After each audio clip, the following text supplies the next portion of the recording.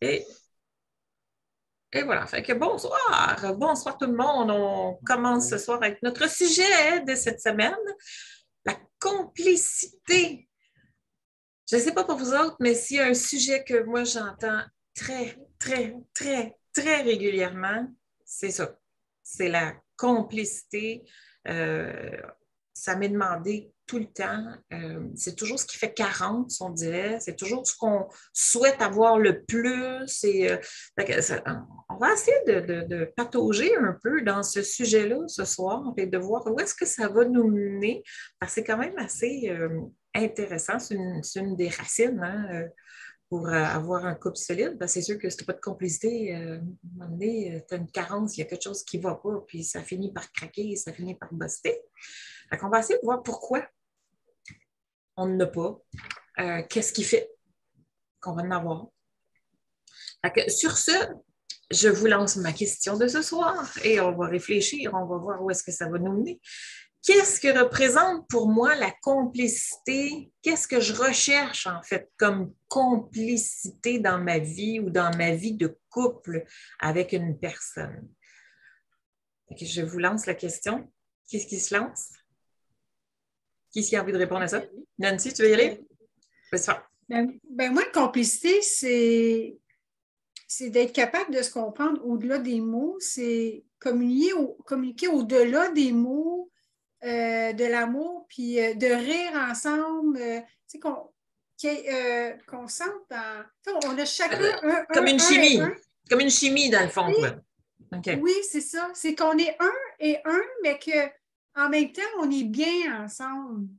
C'est ça pour moi une complicité, malgré que ce soit dans, dans le, le moins le fun, dans le plus fun, même s'il y a la maladie, une complicité, on, aide l'autre.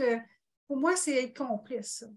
Dans le fond, ça, serait dans le soutien, dans mm-hmm. la sécurité, dans, dans le fait d'avoir une certaine chimie entre les deux, euh, pour toi, la complicité que tu recherches, là, ça se situerait à ce niveau-là. Oui, puis de faire des choses ensemble aussi, peut-être pas toujours, mais d'être capable d'être bien ensemble en faisant des choses, puis rire. Avoir des activités communes. Ça, je l'entends énormément, celle-là. Beaucoup, beaucoup. Avoir des activités communes. Puis je, serais tentée de te poser la question, euh, pourquoi? Pourquoi est-ce que ça serait important pour toi de partager une, une ou des activités communes avec ton partenaire? Bien, parce que ça crée du lien, ça crée des choses à parler ensemble, euh, qu'on vit des choses en même temps, qu'on va pouvoir parler, continuer, même dans nos vieux jours, on va pouvoir se, rappeler de tout ça. De, se créer des souvenirs ensemble, se créer des bons souvenirs ensemble. OK, c'est intéressant comme, euh, comme vision, comme façon de voir les choses, pourquoi on veut faire des activités ensemble. OK, j'aime ça. OK? On va aller voir Anne puis Jean-Pierre. Qu'est-ce que vous recherchez? Anne, qu'est-ce que tu recherches comme complicité dans un couple? Ben, c'est certain que c'est important pour moi que la personne fasse du cheminement. Ça, c'est primordial pour moi. Euh, parce que c'est important pour moi puis je vais être capable d'en discuter avec l'autre. Puis oui, c'est important aussi qu'on qu'on ait des activités en commun, qu'on ait du plaisir, qu'on rit, qu'on. Justement, oui, ça, là, c'est vraiment important. OK, OK. Une ouverture au niveau de l'échange, au niveau de la communication, où tu vas pouvoir, dans le fond, aller plus profond. C'est ça que tu veux dire. oui. Toi, tu veux, dans la complicité, ça inclut une communication qui est plus intime. Là. Ah, vraiment. Puis c'est super important. OK. OK. Tu as dit communication intime et après ça, tu dis.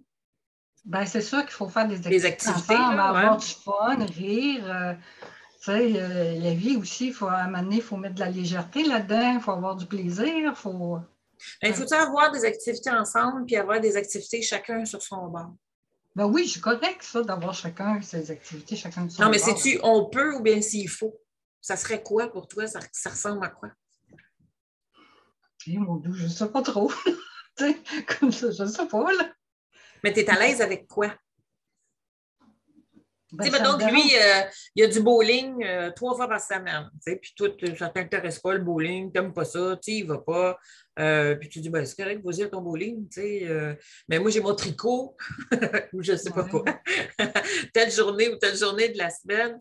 Fait que vous avez chacun vos activités, mais il y a des choses que vous partagez en commun et que ça, vous faites ces activités-là ensemble. tu sais. Fait que tes activités, mes activités et les nôtres, Ouais, tu te sens comment là-dedans de le laisser aller tout seul à des activités, puis de toi partir tout seul à des activités, puis Ben, je pense pas que j'aurais de problème avec ça parce que justement, ça me permettrait d'avoir mon temps à moi, tout seul. Puis ça, c'est important pour moi. J'ai réalisé que moi, le matin, j'ai besoin de silence, j'ai besoin, tu sais, euh, j'ai besoin d'un moment comme pour. euh, ouais, te retrouver, te reconnecter. Ouais. c'est ça. Ouais. Puis, tu sais, je suis une hypersensible, je ressens beaucoup les, les gens, les choses, les situations. Fait que pour moi, c'est important ces moments-là avec moi-même pour revenir, tu sais, pour euh, me débrancher de. Je ne sais pas comment l'exprimer. Ben, de refaire le ménage, dans le fond, c'est un peu Ouais, c'est là. Mhm. important pour toi, vraiment, cette communication, ce lien-là de Ouais. communication pour pouvoir aller éclaircir, dans le fond, euh, euh, qu'est-ce qui se passe en toi, là, puis la relation à l'autre euh, et tout ça. Ouais. Fait qu'on voit que là, ça, il y a une grosse importance pour toi au niveau complicité là-dedans. Ouais. OK. Jean-Pierre, ça ressemblera à quoi pour toi? Mais là, tout a été dit. euh. Non, ben non! ben non! Euh, j'ai, euh, oui, pour moi, euh, c'est ça, c'est faire mes choses, puis l'autre fasse ses choses. Ce qui c'est qui, euh, j- il y a des choses que moi, comment je pourrais dire ça, donc, j'aime pas faire, mettons. Puis, mais le, le- il y a un échange, une complicité. Euh, la personne vient avec moi, elle vient avec moi pour faire des choses, ben, euh, écoute, moi, moi, moi, y aller, moi l'autre l'autre bord, là, c'est comme un, échange, ça, là. euh. Tu vois ça comme un, un- pas un sacrifice, mais euh, tu sais, si elle le fait pour moi, je vais le faire pour elle. C'est tout ça pour toi, la complicité, plier, plier sur, ou bien si tu dis ce qui serait important pour moi, ça serait que oui, on, on- on ait des activités ensemble, mais que ça y fasse plaisir de venir les faire. C'est que ça ne soit pas juste me faire plaisir. euh, et, et inversement aussi, parce que à un moment donné, quand c'est juste pour un plaisir à l'autre, ça devient lourd. là. Ça devient Non, pesant. c'est ça. Il y a ça, ça vient peser dans la balance à un moment donné. Euh, si je t'ai donné ça, puis euh, je me semble que j'ai pas reçu cette compensation. Aujourd'hui, on va dire ça, tu sais, là, le- on fait nos activités, on a chacun nos activités, chacun notre barre, mais euh, pour moi, il faut avoir nos activités. Euh, quand je dis activité, bien souvent, euh, c'est bien différent. C'est euh, du repos, du, de la détente, un petit voyage, aller visiter, quelque chose comme ça. Et fait que ça ressemblerait à ça, des activités en commun. oui, pour toi? pour moi, c'est ça. Mais c'est surtout aussi, moi, j'ai de la misère plus dans un domaine, puis euh, euh, la, personne avec qui elle a de la misère, ben, moi, m'en prendre le relais. Tu sais, c'est comme. euh, La complémentarité. Oui, oui. Qu'il y a une complicité dans le fait de se compléter puis de se relayer. De puis, euh, qu'il y a un certain appui aussi à quelque part là-dedans. Là. Et Le on soutien. comprend. euh, écoute, je suis, je suis, bon rien, moi, là-dedans. Un relais. euh, c'est exactement. C'est. euh, hmm. Et où est-ce que, présentement, en tout cas, ou dans vos expériences récentes, euh, il y a eu le plus de carences, ou c'est le plus difficile d'aller chercher de la complicité? Un- C'est ça. Moi, moi c'était surtout dans l'intimité. Euh, moi, si je reviens avec Gisèle, c'était ça, euh, euh, de pouvoir de parler de moi. Euh, euh, moi, hier, j'ai pris une feuille puis j'ai écrit euh, à partir de, plus jeune, d'enfant que je suis, pour voir à venir jusqu'à aujourd'hui. Et puis, euh, je me souviens, moi, quand on a suivi la formation de préparation au mariage, ça avait été pour moi euh, le mot que je devrais utiliser. C'était euh, été débordé. J'étais, je ne comprenais pas. Euh, ça aurait été un signe de me dire écoute, il y a quelque chose qui ne va pas dans toi, Jean-Pierre. Tu t'en vas avec un couple, tu t'en vas te marier. Mais euh, pour moi, le mariage était tellement important, la vie de couple, c'était, il n'y avait pas à revenir là-dessus, même si c'était extrême de pouvoir rentrer là-dedans, de pouvoir comprendre. Tu avais eu un son de cloche déjà là, à ce moment-là. Mais là, écoute, euh, euh, je, vous avoue ça carrément, là, que je n'avais pas pris conscience de ça avant hier, que je me suis assis puis je me suis mis à vérifier. Euh, sans avoir peur de ce que c'est que, sans avoir peur de, comment je dirais ça, donc, là, quand on veut aller au fond de nous, on, se fiche de la peur, on fuit tout. On dit, OK, on fonce là-dedans, là, puis c'est ça. Oui, euh, ça prend de l'humilité, ça prend du courage d'aller là. Puis, puis, à quelque part, cet espace de complicité qui nous manque tant, très souvent, c'est là qu'est situé.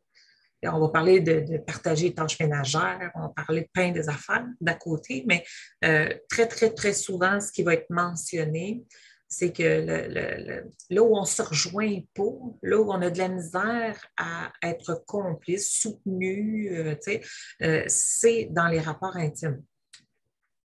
tu viens de l'avancer, mais c'est un des, des, top numéro un. Là. Ouais. Mm. En fait, tu n'es pas seul là-dedans. Mm. C'est ça. On, trouve des outils, on avance là-dedans, même si euh, on se rend compte de ça. On, ça ne m'écrase pas comme avant. Avant ça, euh, quand j'avais de quoi que je prenais connaissance de conscience, euh, j'ai apporté à, oui, à, me décourager. Euh, tandis qu'aujourd'hui, c'est tout différent. C'est bien différent. C'est beau d'entendre ça. c'est là que la différence, c'est que. C'est l'ouverture qui s'est créée. tu continues à avancer du haut ça ne fait pas mon affaire. Tu ne le dis pas à personne, mais dans toi-même, tu sais. ça ne fait pas ton affaire, mais euh, écoute, euh, on avance là-dedans. On accueille. C'est comme ça qu'on avance. Exactement. Bravo.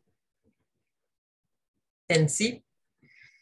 Ben moi, c'était dans la communication. C'était comme rapport intime, admettons que j'avais, euh, c'était correct mais, euh, mais la, communication, ça ne passait pas. C'était de la boîte, c'était tout ce que je disais, tout ce que. Euh, ça ne marchait pas. Vous n'aviez pas le même langage. Vous ne compreniez pas. C'est interprété ou. Euh, c'est ça, fait que c'était interprété. Ben, il y avait beaucoup d'interprétations. c'est sûr, j'étais avec quelqu'un qui était dans une condition alcoolique contrôlant à un moment donné, c'est difficile de, si on connaît la dépendance, codépendance, euh, nos, comment ça fonctionne, c'était pas possible d'arriver. En fait, un peu peur de verbaliser pour ne pas provoquer. Puis, euh, Oui, puis si je verbalisais, ça faisait jamais la peur, c'était pas si. Ça déclenchait. Fait que, à un moment donné, je, me suis tait, j'ai acheté la paix, euh, mais j'étais pas bien. Ben euh, je n'étais pas bien avec moi-même. Donc, je te dirais que c'est là où que moi, euh, mais en même temps, dans l'intimité, je, je veux dire, euh, la complicité, à un moment donné, il n'y en avait pas tout le temps parce que j'ai acheté la paix. Fait que je fais de l'aide de l'intimité par, par obligation ou pour ne pas faire de la chicane, tu sais. Puis bon, on dit plus ça, mais c'était quand même ça, tu sais. Euh. c'est souvent la réaction qu'on va avoir pour euh, pas trop brasser, pas trop toucher, pas trop euh, affronter ce qu'il y a là. puis souvent, on n'a pas conscience de toute façon. On sait qu'il y a quelque chose qui ne va pas, mais on ne comprend pas vraiment ce qui se passe, puis on ne sait pas trop quoi faire avec. Fait que tant qu'à faire, tout se bien pas trop brasser. moi, j'en avais conscience. J'en avais conscience, mais, mais tu avec. ma fille, je restais en couple. Je, je ne voulais pas partir pour ma fille, mais j'avais vraiment conscience de ce problème-là. Là. Mais je restais dedans parce que je ne voulais pas partir parce que j'avais un enfant. Mais à un moment donné, il arriva ce qui arriva, je suis partie parce qu'à un moment donné, j'allais mourir. Tu sais, je veux dire, je ne pouvais plus, tu sais, pour moi, il n'y avait pas de complicité. Puis, tu sais, pour vrai, ce mot-là, je le trouve important dans un couple. Aujourd'hui, je la vis, la, la, la, la complicité. Puis même s'il ne parle pas beaucoup, même si j'ai quand même une complicité parce qu'on s'entend quand même, tu sais. Des fois, ce n'est pas toujours à toujours parler, mais c'est d'être ensemble, puis dans une complicité qui peut être même physique, un à côté de l'autre. Mais tu sais, aujourd'hui, c'est plus pareil. Là, mais avant, la communication, c'était de la boîte. ça ne marchait pas. Et puis aujourd'hui, s'il y avait quelque chose que tu pouvais améliorer dans ta complicité, ça se situerait où? Oh!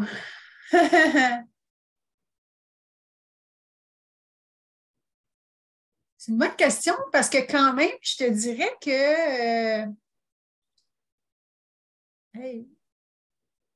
je ne sais pas. Je ne sais pas, Chantal. Parce que ben, je te dirais que mûris ça, réfléchis, tu vas voir, on va continuer. Puis là, il y a peut-être des affaires qui vont te popper. OK? c'est le but de l'exercice, hein, dans le fond, on, on jase, on discute, puis on essaye de voir, OK, euh, et faire des prises de conscience à travers ça. je vais aller voir Anne. Comment est-ce que Anne, euh, aujourd'hui, qu'est-ce qui, qui carence d'une certaine façon le plus euh, au niveau de la, sexe, de la sécurité? Au niveau de la, complicité, je suis dedans. Hein? tu veux dire dans mes autres dans mes autres, parce que là, aujourd'hui, je suis célibataire. Oui, ben dans le fond, au plus récent, euh, c'est pour toi, dans ta façon de le vivre, euh, où est-ce que tu as senti le plus de carence de complicité?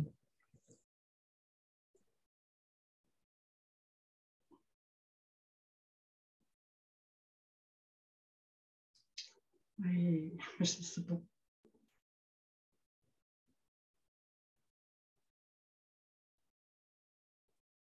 Ouais, je sais pas. Ou c'était le plus difficile? On va te laisser réfléchir, OK? On va te laisser continuer à mûrir ça. mais j'aimerais vous emmener une réflexion. OK? La complicité, quand on a de la complicité dans un couple, c'est parce qu'on est allé se chercher un complice ou une complice.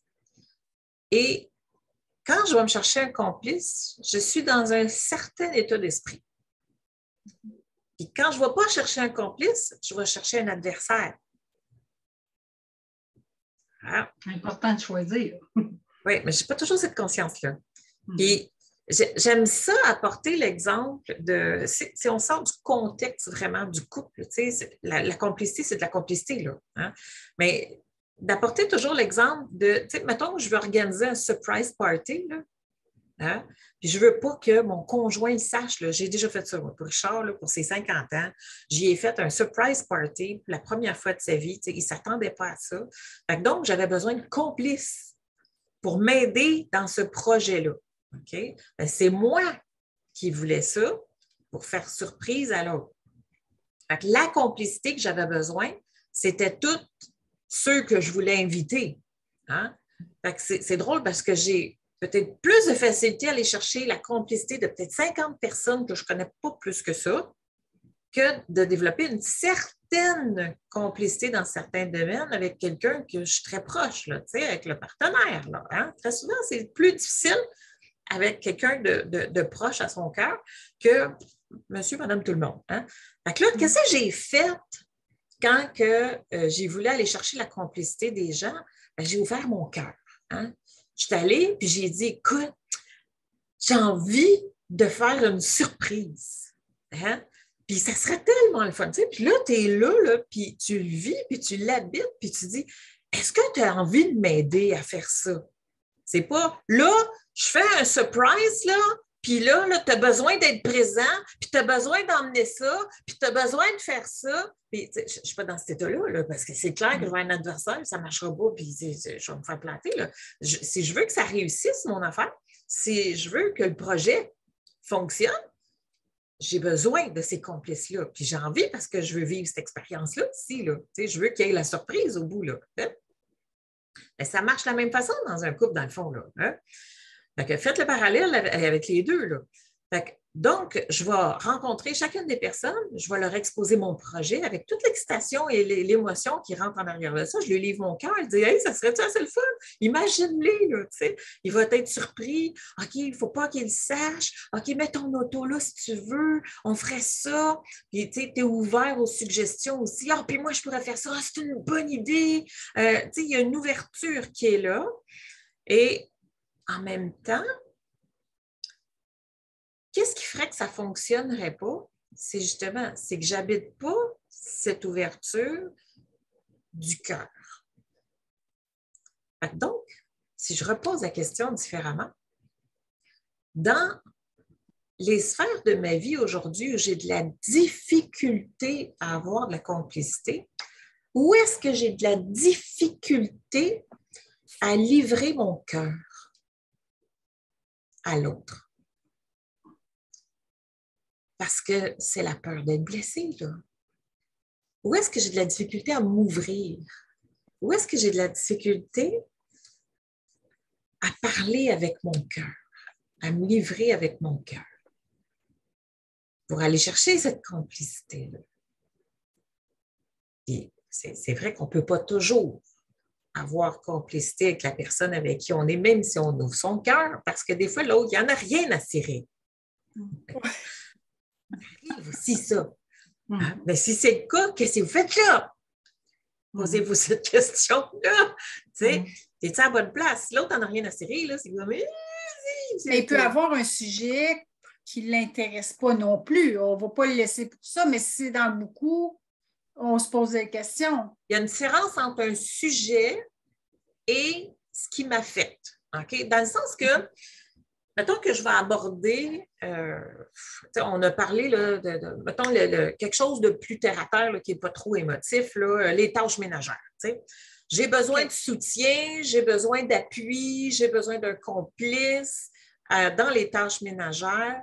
Comment est-ce que je vais l'aborder? Ben, franchement, tu pourrais faire ça, tu n'as pas fait ci, moi j'ai fait ça, on va calculer. Hein? Puis on est dans le reproche, on n'est pas dans le complice.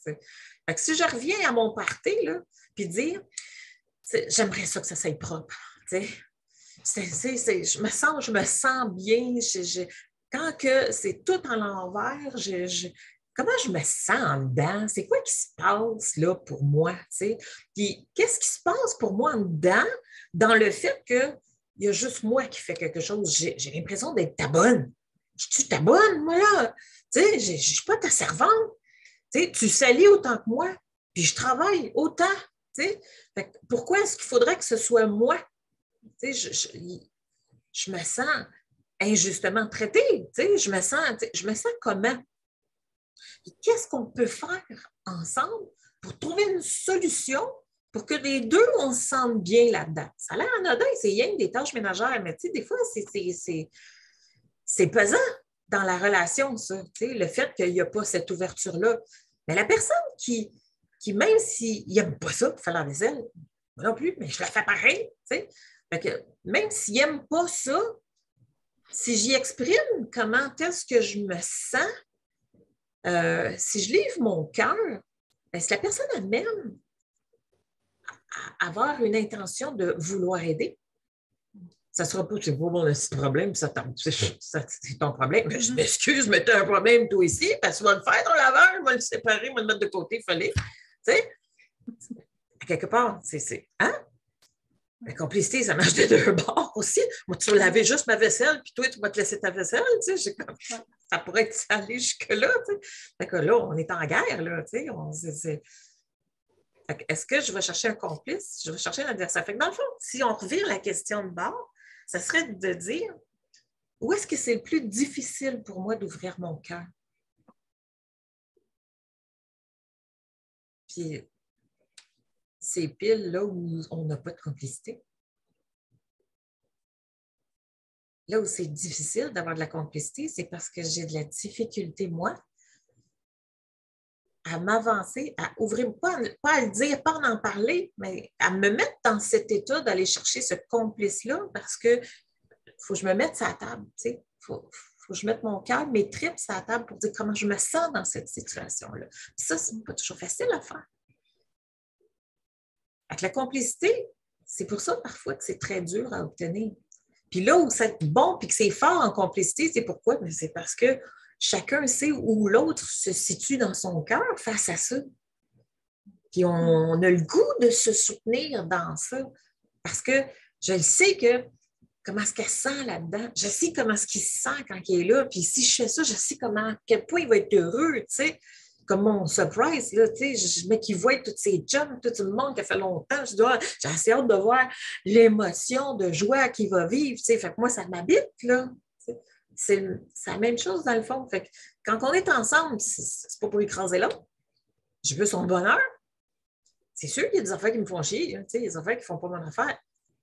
Mais dans le fond, la complicité, c'est comment est-ce qu'on peut, à deux, arriver à, à s'entendre là-dessus puis dire, regarde, moi, j'aime mieux faire ça.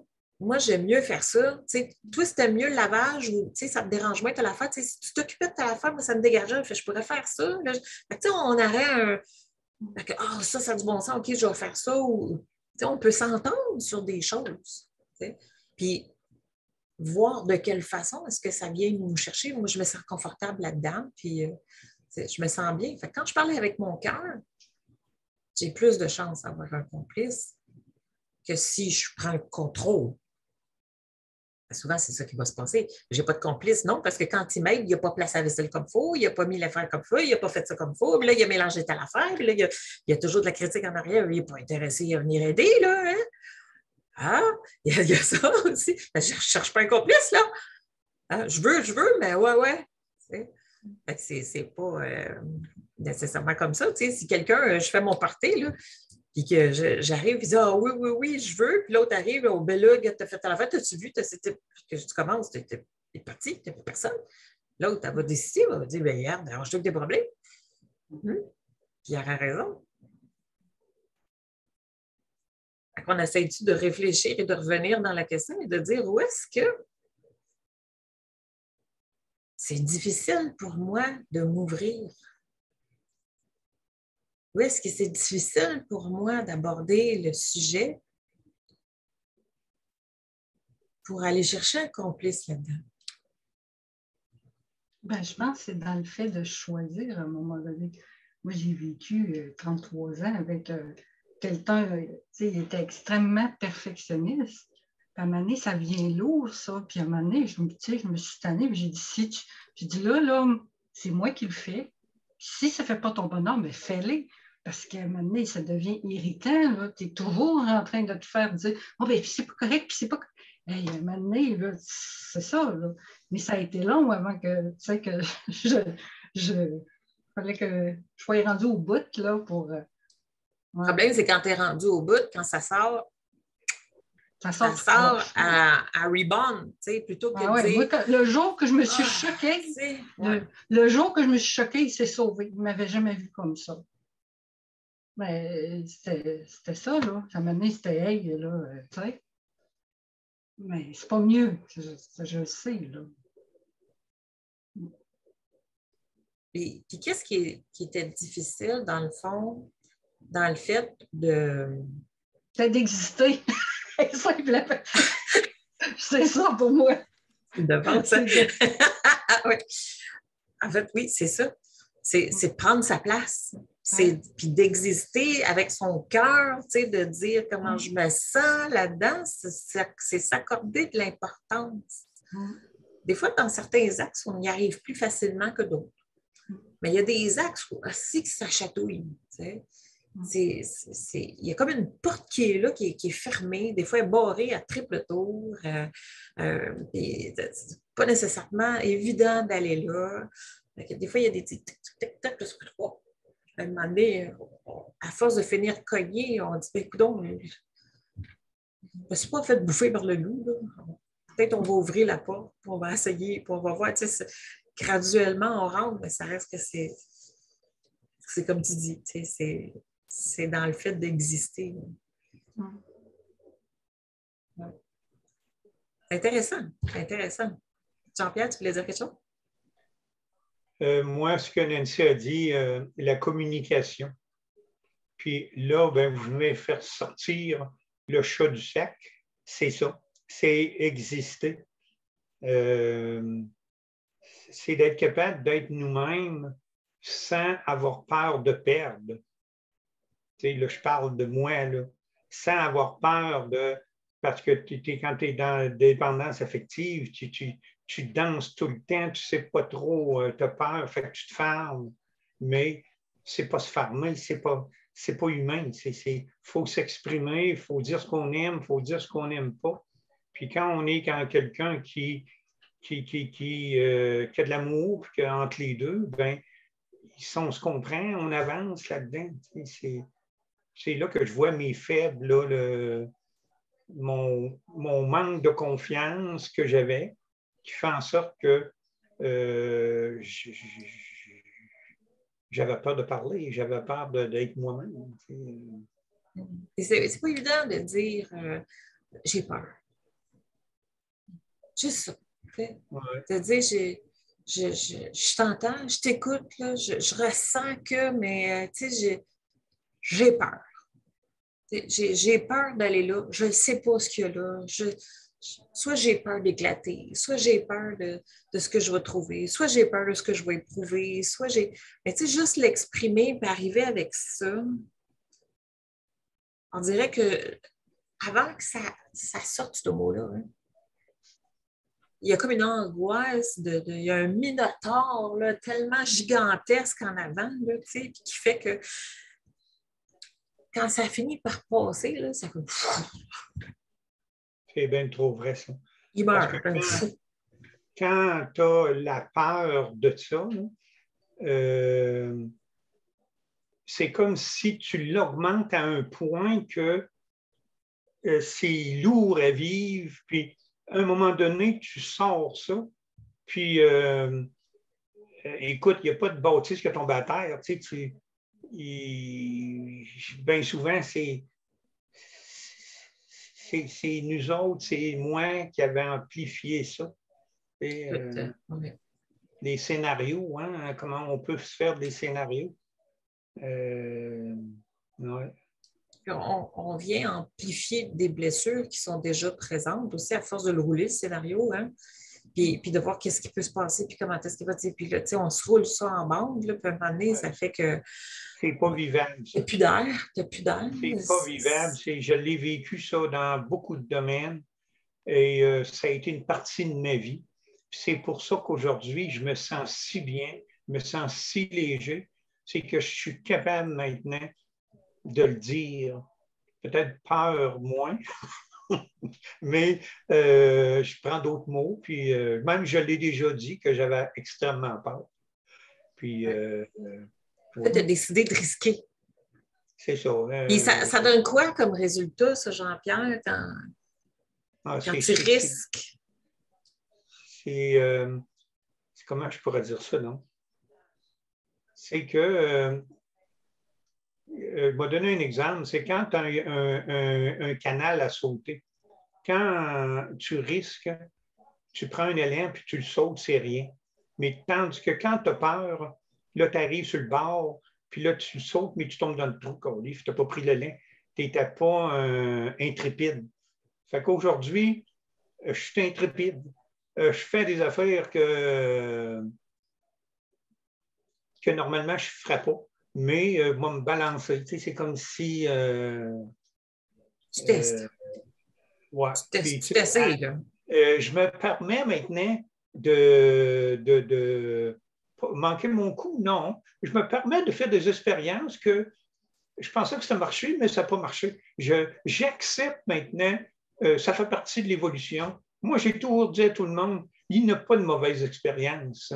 Euh, c'est toutes des expériences, mais il y en a qui ça n'a pas marché comme on pensait, c'est tout. Je le disais aux autres, mais moi, euh, je ne m'en servais pas de ça. C'est comme si euh, c'était pour les autres.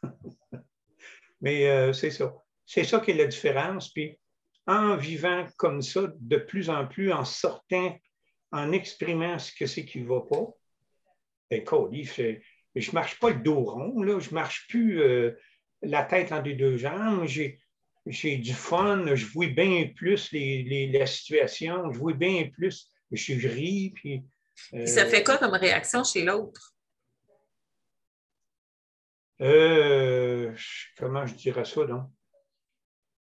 Je n'ai pas été bien bien avec d'autres depuis que je suis comme ça. Euh, mais je m'aperçois que quand tu es chargé, tu éloignes. Puis quand tu es bien avec toi, euh, comme un matin, j'ai été déjeuner puis d'un restaurant, puis je, me suis assis à une table, puis là, les, gens, ils, viennent te dire bonjour. ils ne sont pas levés, mais je m'aperçois que je suis plus accueillant. Euh, tu vois que tu as une meilleure ouverture aux autres. Et voilà. Puis, tu sais, j'ai. Euh, j'ai jamais été fermé, tu sais, des fois, je, disais puis je souriais aux gens, mais euh, j'étais encore plus fort. Tu sais, là, je me dis, écoute, euh, me semble que c'est le fun de sourire, de, donner à quelqu'un que tu passes, que tu croises, n'importe quoi. C'est euh, nourrissant.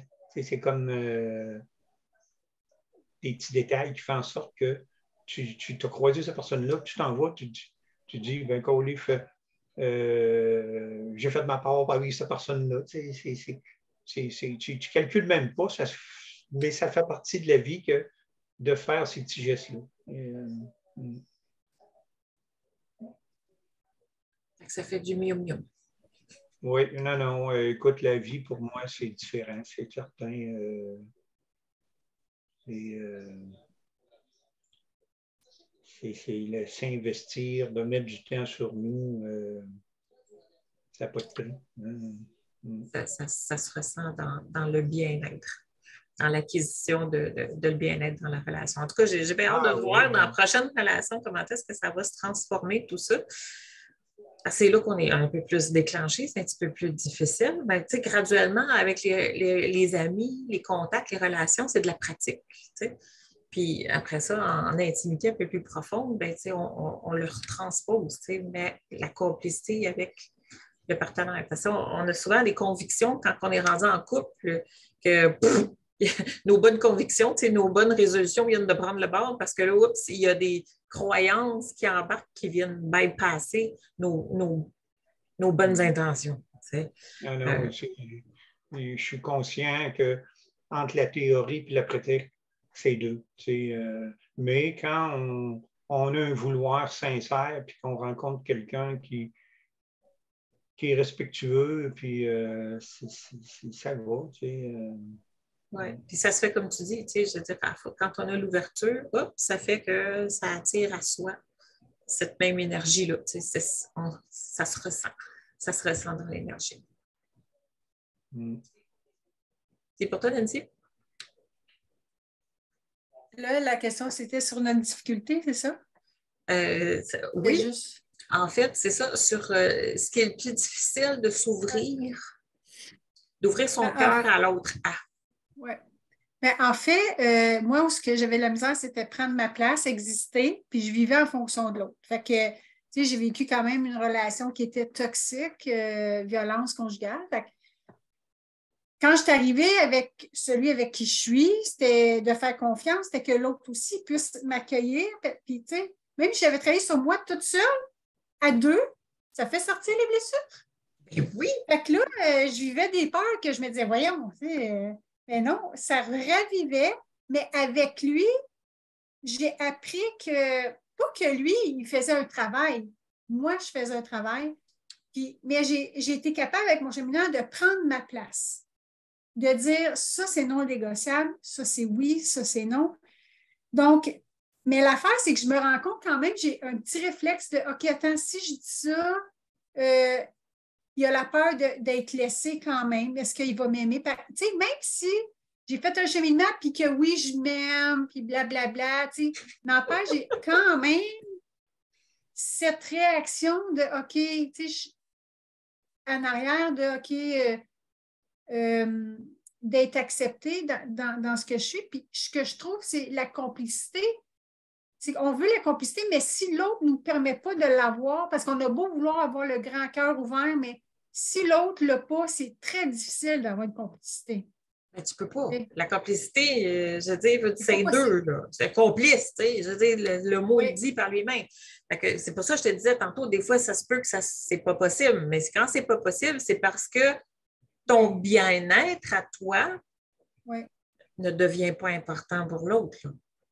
Non, c'est ça. Fait que s'il n'est pas important, ça veut dire qu'il ne veut pas écouter, il n'est pas capable de respecter, accepter. Tu sais, même si tu acceptes, tu n'es pas obligé de tout faire, mais non, ça ne veut pas dire se plier à toutes les volontés de l'autre. Euh, c'est pas ça, là. On n'est pas là. Mais je me rends...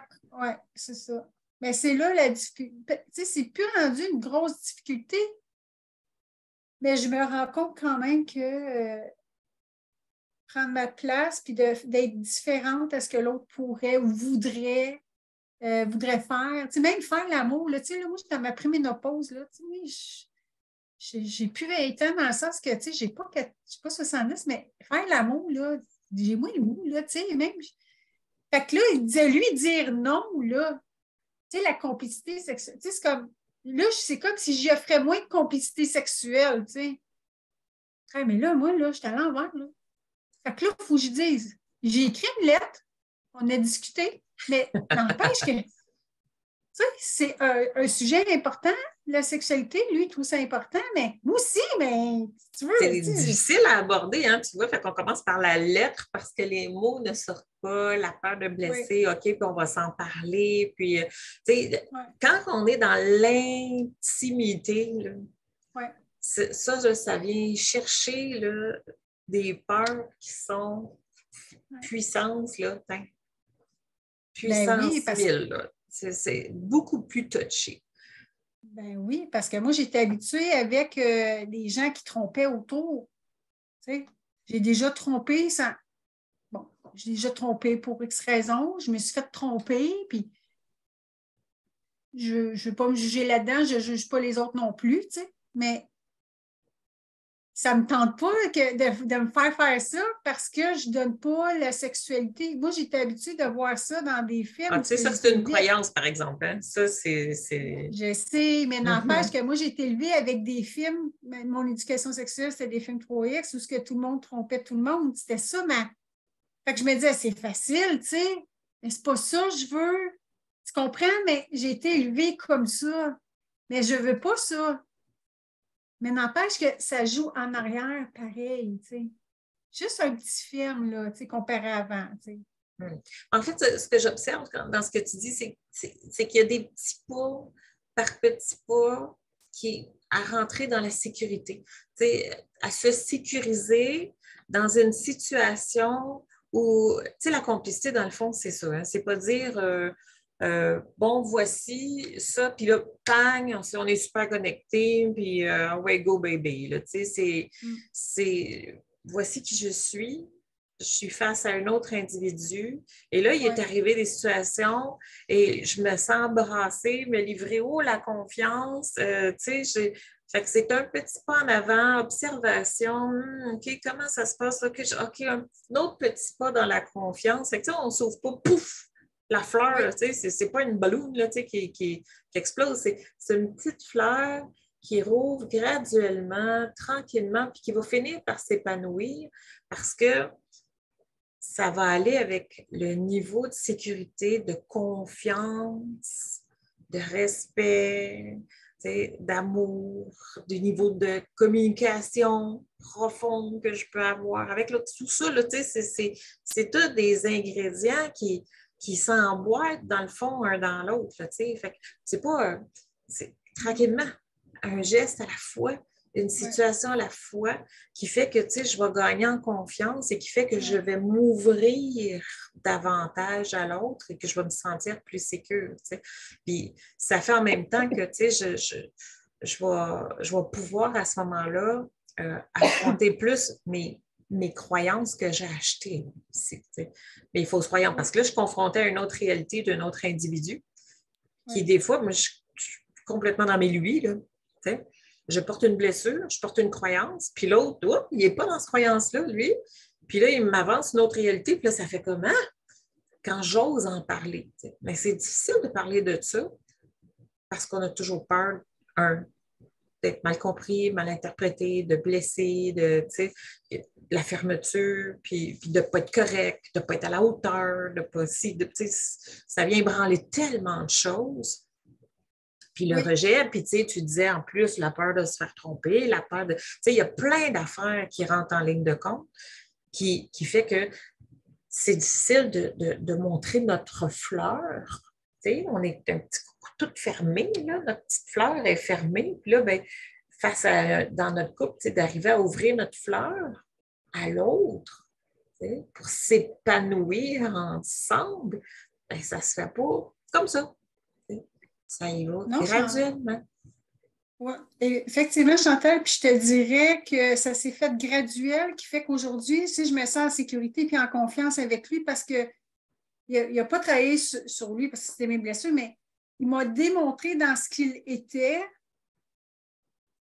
que je pouvais avoir confiance, que je pouvais être en sécurité, que je pouvais m'appuyer dessus, me soutenir par ses gestes, pas par ce qu'il disait, par, ses gestes. Donc aujourd'hui, écoute, euh, je trouve ça euh, super, puis j'y crois aujourd'hui. Tu vis une autre expérience complètement différente. Mais ce n'est pas arrivé du jour au lendemain.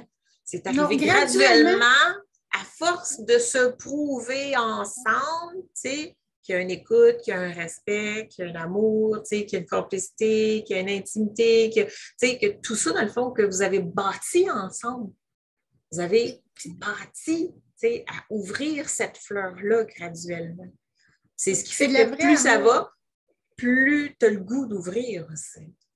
Oui, puis je sens que c'est de la vraie amour. C'est ça. on est un, Base de couple solide. Oui, c'est ça, parce qu'on a appris à être ensemble, graduellement, puis oui, fait que c'est... C'est ça. C'est à travers les épreuves que tu apprends à ouvrir ça. Parce que quand tout, est beau, tout est facile, tout est, tu n'as pas à jaser de grand-chose, on dit, ben beau les papillons, là, tu sais, ben, c'est, sont beaux les papillons, mais c'est pas ça qui va faire que je vais arriver à, à m'ouvrir, à m'épanouir. C'est les difficultés qui vont faire, parce qu'il faut que j'apprenne à ouvrir cet espace-là en moi. Puis c'est là où c'est difficile. C'est pour ça que la complicité, c'est tellement recherché et que c'est tellement difficile à obtenir ben, parce qu'on n'est pas prêt à aller là. On veut avoir la fleur qui s'ouvre comme ça. Je t'en coupe, là, puis là, là, regarde, on s'entend bien. Pouf, la fleur devrait être ouverte de même. Euh, non, pas, pas tout. Ça ne marche pas de même c'est je vais m'ouvrir un petit peu, puis je vais voir la réaction, puis je, mon cœur est-tu, il est-tu en sécurité en ta présence? Est-ce que ce que je te dis, est-ce que ce que je te livre, euh, c'est quelque chose qui peut être reçu de l'autre côté? Y a-t-il un échange de possible? Je vais pouvoir ouvrir un peu plus? Je vais pouvoir partager ça? donc, c'est développer cette complicité-là. Puis c'est la qualité qu'on va mettre dans chacun des ingrédients qu'on a vus depuis les dernières semaines, hein. les, racines, que j'appelle les racines du couple. Plus on va mettre la qualité, un pot à la fois, une situation à la fois, dans ces racines-là, plus je vais épanouir ma fleur, là, plus mon cœur va s'ouvrir et plus ça va créer cette relation solide. ça n'est pas, ça tombe pas du ciel de même. Tu as vécu les deux. Tu as vécu la, situation de relation abusive. Tu t'es choisi, tu es sorti de là, de travailler sur toi, de te trouver plus de, confiance et d'amour de toi. Et là, tu es rentré dans une autre relation. Puis là, ça n'a pas fait voici, j'ai tout l'amour de moi et la confiance et maintenant je, suis partie dans le bal.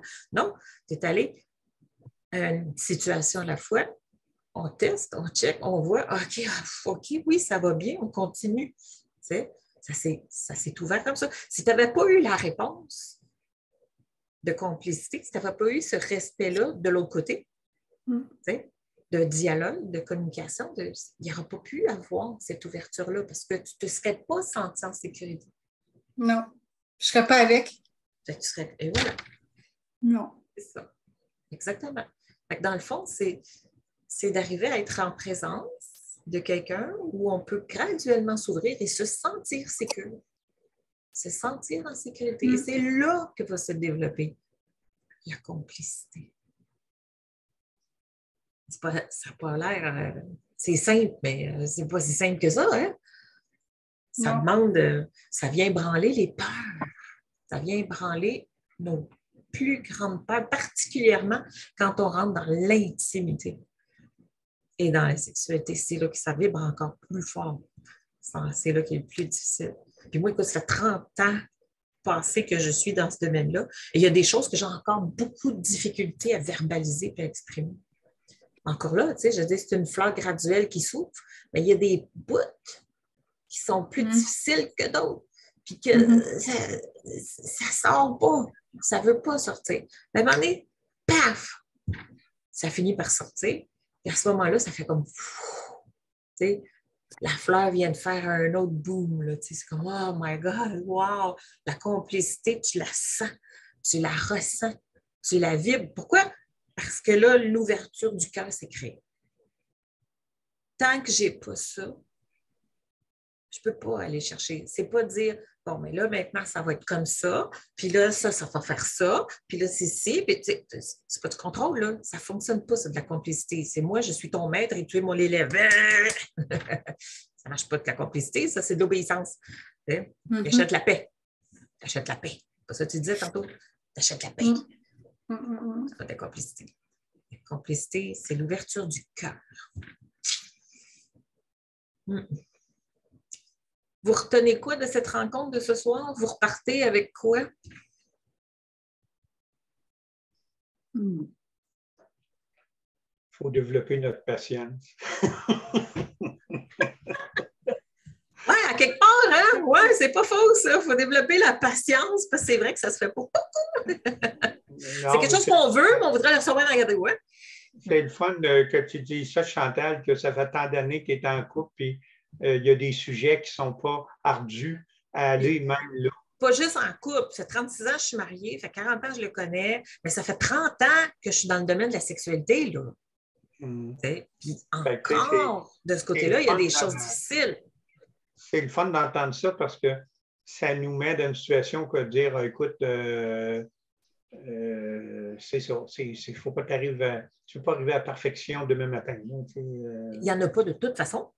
Mm. Perfection, ça n'existe pas. Mm. Ça, c'est la euh, grosse euh, euh, illusion. Pour faire développer la fleur, il ben, faut que tu l'arroses, c'est ça. Mm. Oui, bien dit. Moi, je pense que ça prend les deux, en ouverture du cœur, pour avoir la complicité, puis que ça va évoluer graduellement de plus en plus. C'est ça avec quoi je retiens. Puis la complicité égale respect, euh, amour de soi, amour de l'autre, compassion de soi, de l'autre, euh, ouverture. Euh, vouloir le bien de l'autre, vouloir le bien de soi aussi. Un beau mélange. Mm-hmm. Un, bon un bon mélange de soupe, c'est ça. De soupe. c'est bon.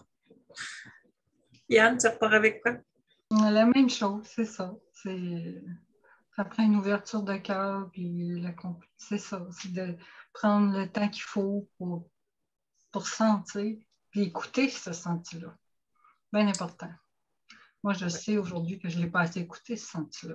Mm-hmm. Et puis, on ne l'a pas mentionné à l'inverse aussi, c'est d'avoir cette ouverture du cœur, d'entendre l'autre aussi. Oui, aussi. Oui, oui, les deux. C'est ça. Oui. C'est un mm-hmm. comme l'autre. Oui. Eh bien, merci. Merci pour euh, cette super discussion de couple, cette super rencontre. La semaine prochaine, on y va avec euh, l'intimité. On se pose la question, ça veut dire quoi ça, l'intimité de couple? Ça inclut quoi? Ça représente quoi? Ça, c'est très élastique comme réponse. c'est à peu près comme la fidélité.